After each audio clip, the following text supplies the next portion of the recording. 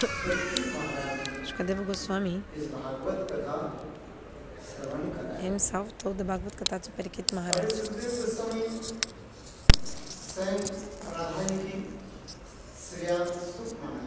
Shukadeva is Shreya Sukha, means is the parrot of Shrimati Radhika. Saying Radha is so He is the parent of Shmatrat, raised by her, taken care of by her. Shmatrat was feeding, used to feed him very beautiful pomegranate seeds. And she used to say what?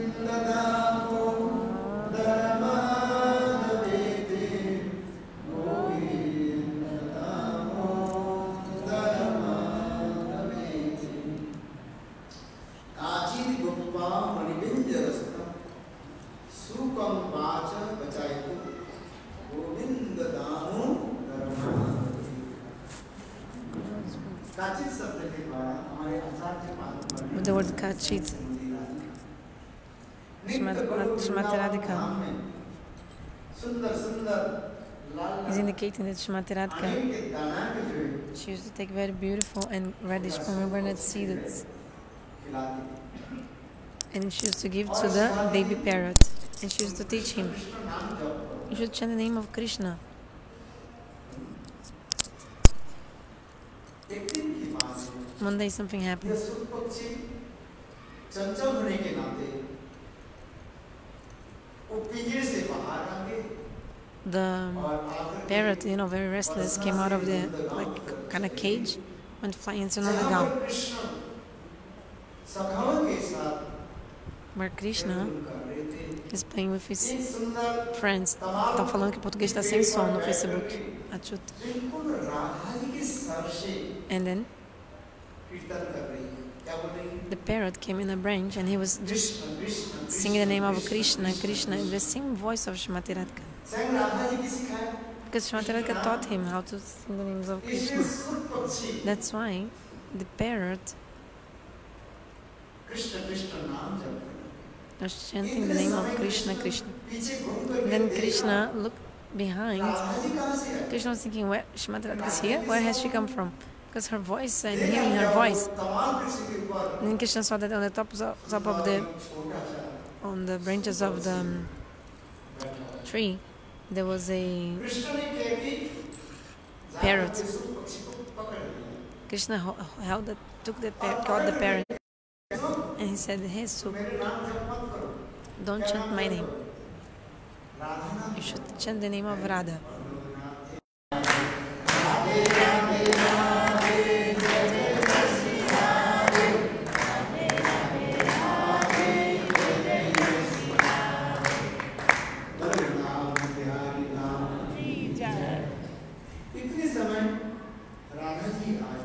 So in this meantime, Shmatanatka came. Shmatanatka came and said, Krishna, this parrot is mine, give me him. Krishna said, he is a parrot, he does not belong to you nor me. They are flying in the sky, they are free. If anyone like catches them, then the, the birds, they belong to that person. How possible he's yours? It's yours. Radha said, no, but I took care of him. I raised him.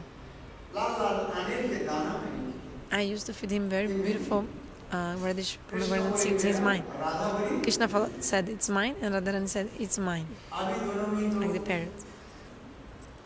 So they were quarreling, Radha and Krishna. Krishna didn't want to give her the parrot. This parrot is mine, mine, mine. I cannot give. Give him. Shmat Radhika knowingly complained to Mother Jashoda. Madhuchula came and with one hand she held Krishna and with other hand she took the parrot from the hand of Krishna, Mother Jashoda. And then Mother Jashoda gave the parrot back to Shrimati Radha. Mother Jashoda said, your father is sitting waiting for you to take prasad. Without you, your father won't eat, so let's go. Go. In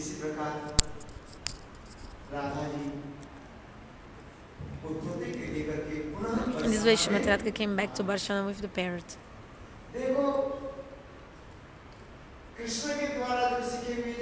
But this parrot had been taught by Krishna. He had learned one sound. Radhe Radhe. Krishna. So now the parrot started saying, Radhe Radhe. Shrimati Radhika said, don't tell my name. Tell the name of Krishna. But the parrot is also very clever, intelligent, you know. He said there is Diksha Guru and also Shiksha Guru. Both are there, Diksha Guru and Shiksha Guru.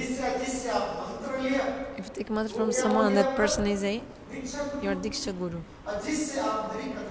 If you are hearing Harikatha from someone,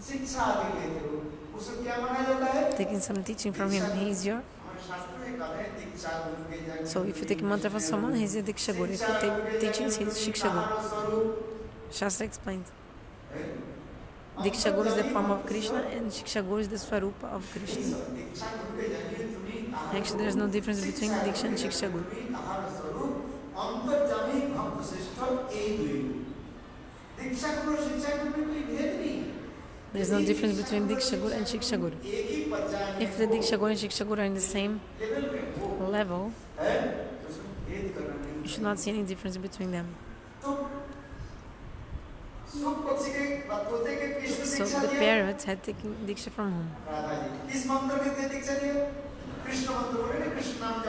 and he said chant the name of Krishna like chant Krishna mantra. But Krishna gave which diksha? The diksha in the Radha mantra. So now the parents had two mantras to chant. Krishna mantra and Radha mantra. When you do archan, we offer both of Krishna mantra, the Krishna mantra, and for the archana, we use the Radha mantra. You can read it in the Archan Dipika. So there is Krishna mantra, Gopal mantra, and another point, Radha mantra is also relevant. So now the parents got Radha mantra and Krishna mantra in both, and there's no difference between Radha and Krishna. Radha Krishna only one. Just for pastimes, they manifest forms.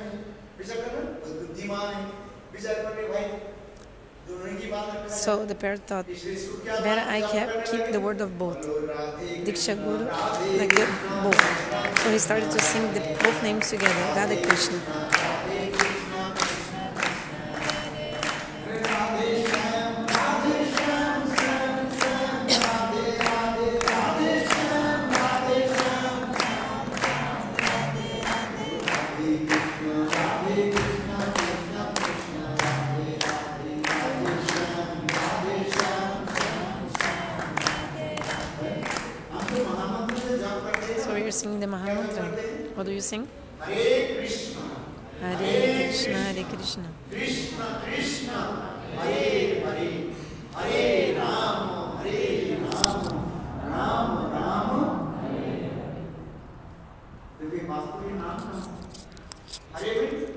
Actually, Hare means Shrimati Radhika. The original name of Shrimati Radhika is Hara.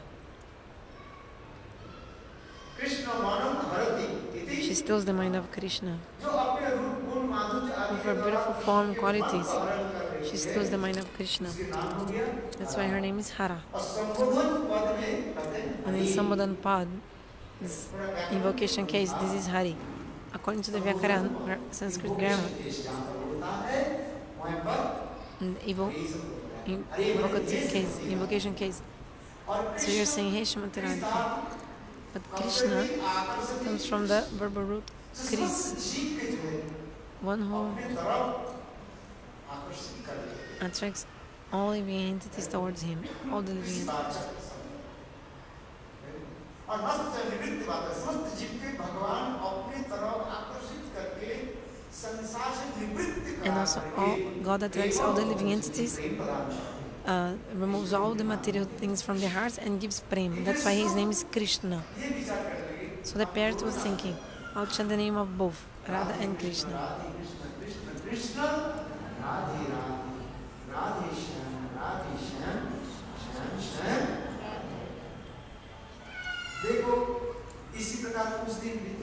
He's on his way after some days. One day, Shmataranga, she said, Hey, so go to the material world. Why? People in this world are so upset, nobody's happy. Raise your hand if you're happy. Can anyone raise your hand saying, I'm happy? So there's no one in the family life, everyone's unhappy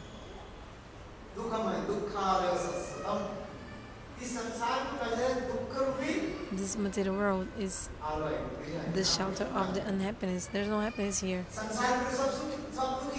Everyone is unhappy in this material world. The rich person thinks, sorry, the poor person thinks that the rich is happy. The rich person thinks, oh, the person richer than me is happy.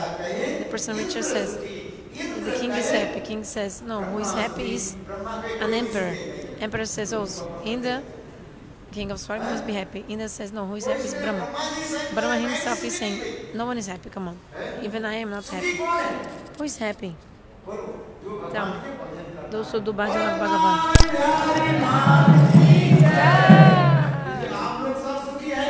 All of you are happy or not? Why? Because you do bhajan. Look, if you take Diksha Mantra from Guru and you do bhajan, you feel bliss, you feel the happiness. Those who have taken shelter of Guru and are chanting the mantra, they are happy. Rest of people are all unhappy. Okay, coming to the Katha. Shmatrata Katsu, the parrot, go to the material world. Everyone is unhappy in this world. इस इस संसार का एक नाम क्या है Another name of this world is Dunya. क्या बोलते हैं ये दुख की जगह कहा है the place of unhappiness.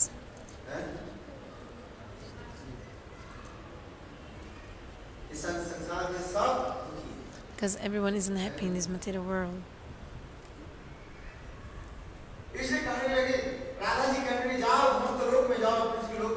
Shmadranka says, Go to the material world and preach about my kata.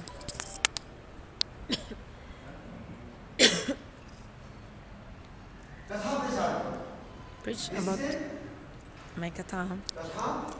Like about us, Maloka Vrindavan. If anyone hears what you speak, remembers,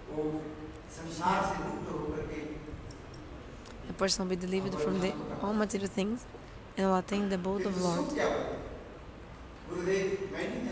But the parrot said, Gurudev, I won't, I will not go. There's no material world, material world. Maya can come and just catch it.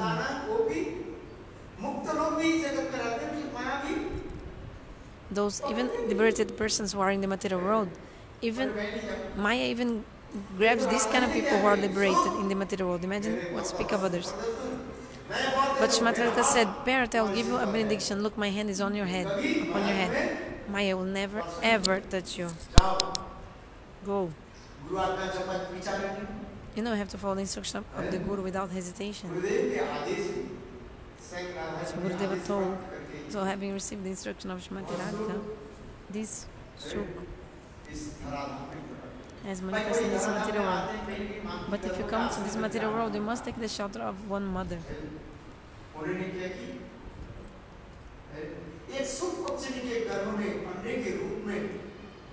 He was born from the womb of a sheep parrot, like an egg. And then, exactly what Shivan Parvati was speaking, Bhagavad Gita. Even though I said Bhagavad and the Bhakti are eternal, just to teach the jivas of this world, there is a story of how he manifested the Kata, how the Kata was manifested.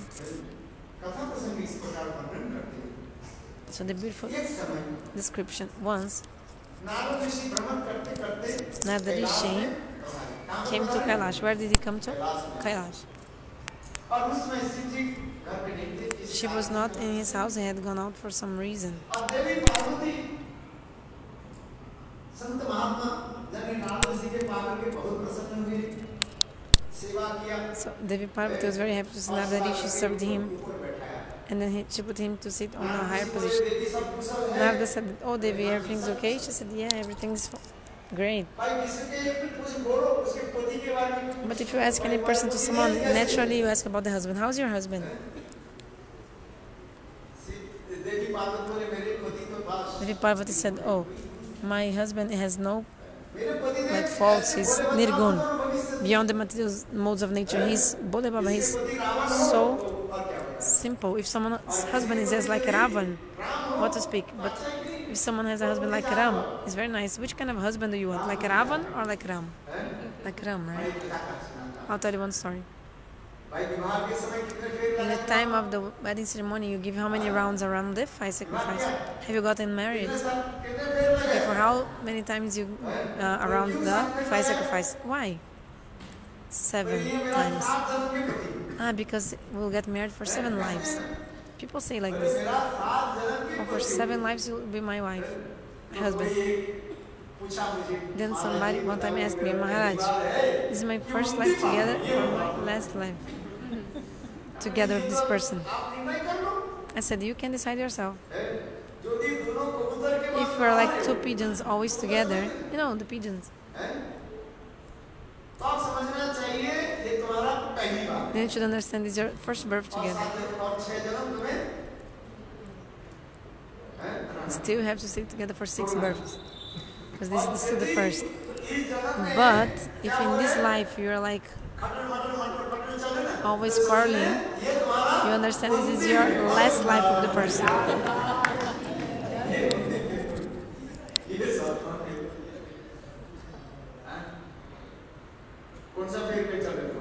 So in, in your case, you are in each which birth, together with the person, with her husband. He said uh, eight, not eight, only to seven.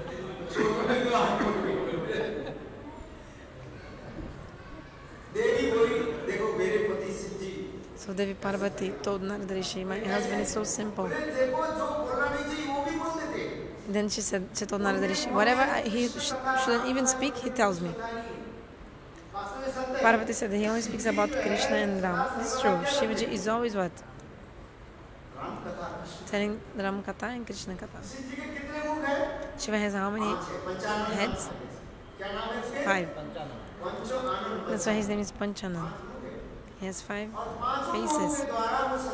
These five faces, he is always glorifying Krishna and Ramkatha. This is true. And whatever he actually should not speak about, he's also speaking.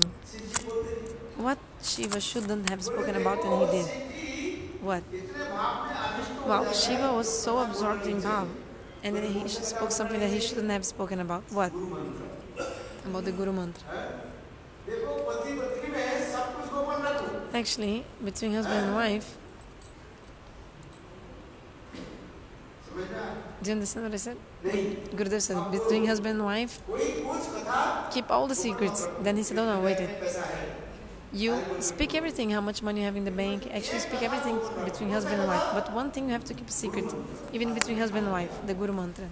Just explain. If husband and wife took Diksha, even from the same Guru, still, husband and wife should never discuss with each other. Guru mantra can only discuss it with the Guru. My Gurudeva said. Guru mantra can only discuss it with Gurudev. But Lord Shiva sometimes is so absorbed that he would, he would speak even about the Guru mantra with Parvati. So Parvati was telling Narad, you see my husband, he does not hide anything from me. No, nothing he hides from me. Even what he shouldn't tell me, he also tells me. now that she was hearing. After hearing, hearing Narada she said, Okay, Devi, tell me one thing. Your husband, why does he have so many uh, ashes on his body? Some uh, garland of. So this is his renunciation.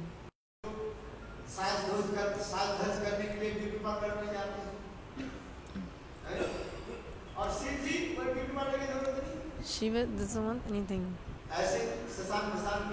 He's put in the ashes of crematorium. Narada Rishi No, look, your husband has kept, he's kept like these uh, ashes, skulls. There are actually a hidden, hidden truth behind this. And the reason why he does this is the essence of all Veda Purana Upanishad, but he hasn't told you yet. Like why he's wearing these ashes, these skulls, all these things. Narada she said, look, but I have to go. When your husband comes, you can ask him, but I have to go. Narada came out after two first steps, he was going away. Shivji came. Hey, Takuji, where are you coming from? Oh, I'm coming from your own house. From your house, yes. Shiva thought, Today, certainly, I will not get even a roti or chapati for eating. Because Naradeshi was just recently in my house. Certainly, I will have to fast today. No, no food when I come back. So Shiva, slowly, slowly, slowly, slowly, he came ne next to his house. As soon as he stepped in the house, Devi, Parvati came like the fire, furious. She was so angry. And she started saying,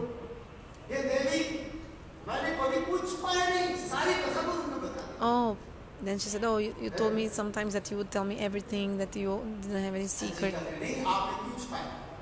So why did you hide something from me? Shiva said, What did I hide from you? What? Shiva said, Nadishi came. She said, Yes. Oh, this is the thing. Okay, for, with some difficulty, both sat down. Devi Parvati asked, Why do you put so many ashes and bones on your body? Shiva said, Hey Devi Parvati, listen to me.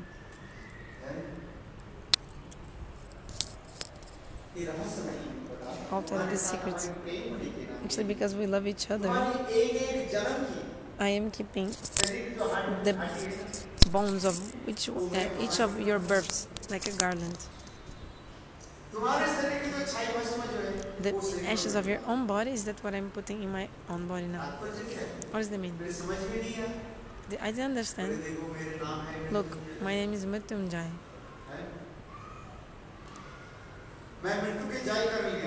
I have conquered the death. How possible?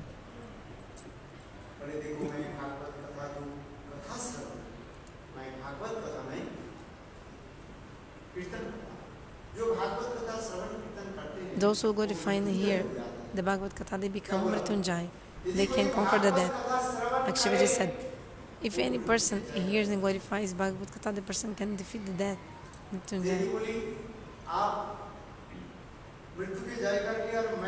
So Devi told, you have conquered the, you have conquered, but I have to, again and again, have to be born and die. Oh, because you're not hearing Harikatha. Then Shiva said, then, then Parvati said, okay, please tell me Bhagavad Gita. Parvati asked Shiva. Then Shiva and Parvati both were sitting and Shiva told, Look, another name of Bhagavad Katha is Amar Katha. What did I say? Amar Katha. Something which, which makes you immortal. If you hear this Amar Katha, you'll become immortal.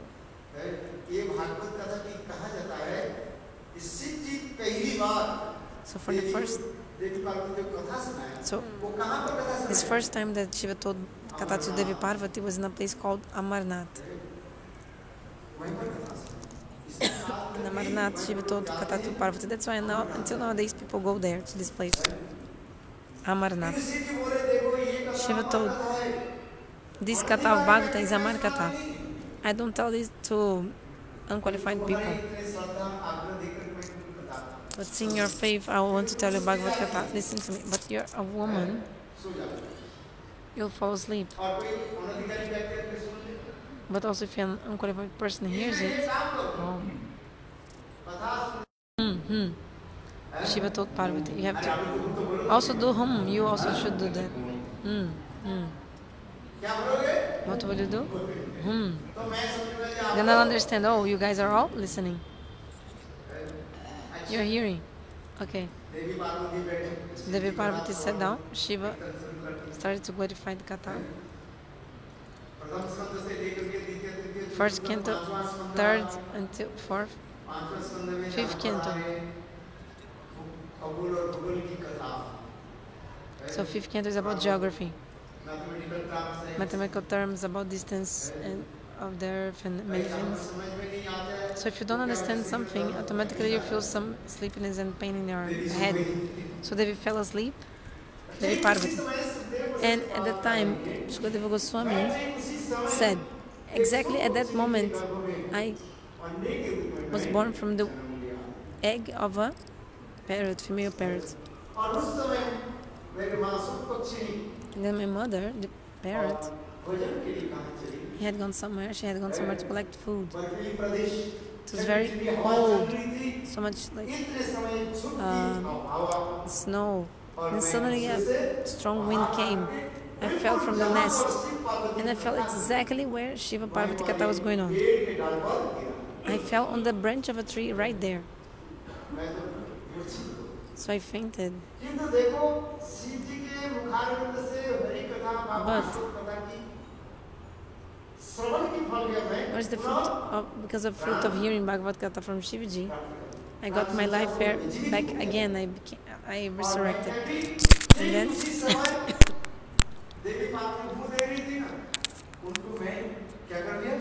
so Devi Parvati was doing hum hum hum. huh. So I also started to imitate her. Devi actually had fallen asleep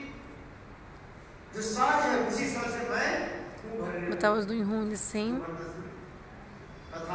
voice of Devi Parvati. Then after some time Shiva opened his eyes and he saw that Devi Parvati was like knocked out. Devi, Devi, oh, oh, oh, oh. Hey, he fell asleep. Oh yes, I fell some sleep. You're feeling also sleepy, yeah, right? Yes, sickness came. So who hurt my kata? Some unqualified person. She was searched here and there. He didn't find anyone. Then he found one parrot sitting there. Parrot. Shiva brought his trident, started to run behind the parrot. Parrot. Parrot was flying, flying, and came next to Govardhan. Badrikashram, where Vyasadeva was sitting with his wife Bitika discussing with her some Puran Katha, Bhagavad Katha. Okay, about the 10th canto of the Bhagavatam, he was telling her.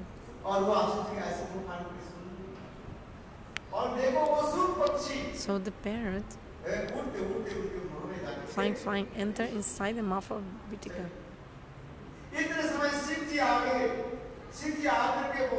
Then she came and told, Vyasadevaji, have you seen any birds? Vyasadeva said, Hey Mahadev, from, when did you become a hunter? You're hunting animals, birds. Oh, some unqualified person heard my kata. But Vyasadeva replied to Shiva, You tell me one thing. What happens if someone hears your kata? The person becomes immortal. He heard the kata. Yes. So did he become immortal? Yes. So if he became immortal, how can you search and try to kill him? Shivaji thought, oh, this is true. So Shivaji came back. This shuka he stayed for 13 years in the womb of Mithikasamadha Vaishnava Singh, explained for 16 and to 16 years old he was in the womb of his mother. One day Vyasadeva told, Oh, who's in the womb of the mother? Come out. And the parrot said, I cannot go out because otherwise my will catch me. वैद्य जी ने कहा Vyasadeva said, मैं तुमको वचन देता हूँ I give you my word. व्यास को नारायण से मैं तुमको वचन दे तुम्हारे घर से बाहर आ जाओ Come out of the womb of mother of your mother. Maya will not touch you. किंतु सुख ने क्या किया बोलते गर्भ से वो सुख क्या उत्तर But दिया then the parrot from inside the womb gave answer. मेरा विश्वास He said, I don't have, I don't trust your words. If Krishna directly would manifest here and give him my word, then I could come out. Then Vyasadeva started to meditate and he made Swami Bhagavan manifest there. Then Swami Bhagavan, then he told Hesuk, come out from the womb of the mother. For how long you will stay there? Bhagavan told the bird in the womb. womb. So if you take one sword and you throw one mustard seed on the blade of this uh, sword, for how long this mustard seed will stay like balanced and on the edge of the axe? No, sorry, horn. So very quickly he should come out of the of the womb and Maya would not touch him. So he did like that. And then Shukadeva came out of the womb of his mother. Just like a 16 year old, young. He was very beautiful. He had long arms. The Shrimad Bhagavatam is described about the beauty of Shukadeva Goswami. How was Shukadeva Goswami Pada? His arms would go under the knees. He had very big arms, very long arms.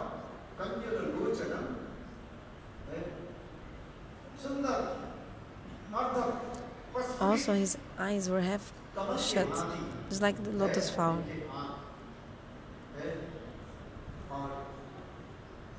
And he was naked. He didn't have any kind of samskar, purificatory uh, rituals. As soon as he was born from the womb of the mother, immediately he proceeded to the jungle.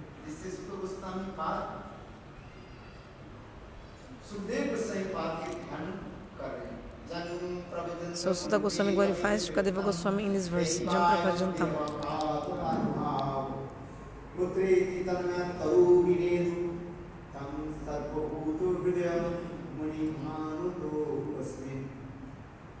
जन प्रबंध मुनिवित अवेद कृतम दैपायन विरह कातर आजुभाव सुखदेव गोस्वामी पाद मातृगर्भ Shukadeva Goswami, as soon as he was born from the womb of his mother, immediately जंगल के ओर दौड़ रहे हैं। he proceeded to the jungle. देखो उनके दर्शन से ही Only by seeing him, समस्त प्राणी All समुदाय the living entities, they were immersed in prema. It's called Mahabhagavad. Who is a Mahabhagavad? Whoever he sees manifests like has Krishna Prem. Like to whomever he looks, Krishna Prem comes in the heart of this person. And if this someone has Prem, what are the symptoms? The heart uh, melts and tears come flow from the eyes.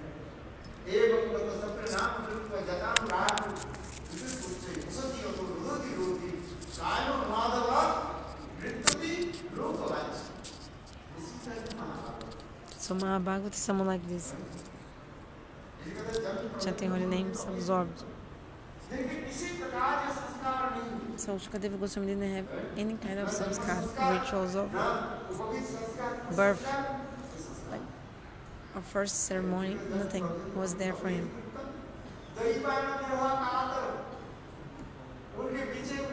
And behind him, his father, Vyasadeva, was calling out, Oh my son, oh my son, Haputra, and running after him. But look, the trees were echoing. Kakasa. Paribedana. He's not your son, why are you crying for him?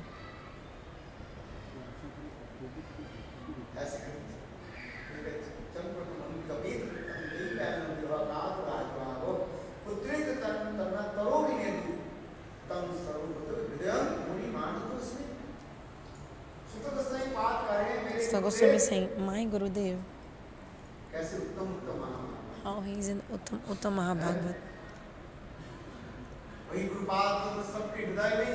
This Guru Padapadma is in the heart of all the living entities. So one thing is Chaitya Guru, another is Diksha Guru, another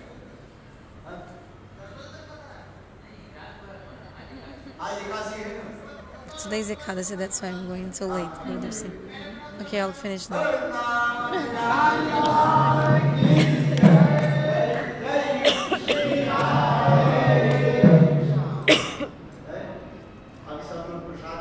Everybody please take prasad now. Today's Ekadashi. Take the fruits, palahar. I'll just finish the kata.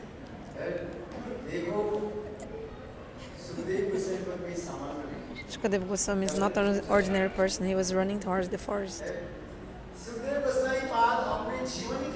Actually, Sukadev Goswami told his own life history to Parikshit Maharaj. Hey Maharaj Parikshit, Parinishtato Brahmane Osman. Before I was, I wanted to merge in Brahma. Before I went, I wanted to merge in Brahma, but then my father Vyasadeva only told me two shlokas. And because of these two shlokas, I give up the meditation in Brahma. And I came to my father and heard Bhagavad Gita from my father. And this Bhagavad Gita I heard from my father is what now I'm telling you, presenting to you. So this Bhagavad is eternal. Who told first this Bhagavad Gita? Narayana himself manifested this in the heart of Brahma, all the tattvas.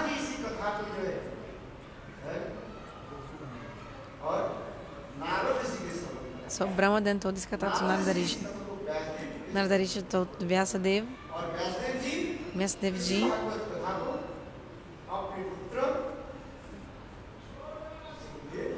so told this Bhagavad Katha to his son, Shukadeva Goswami.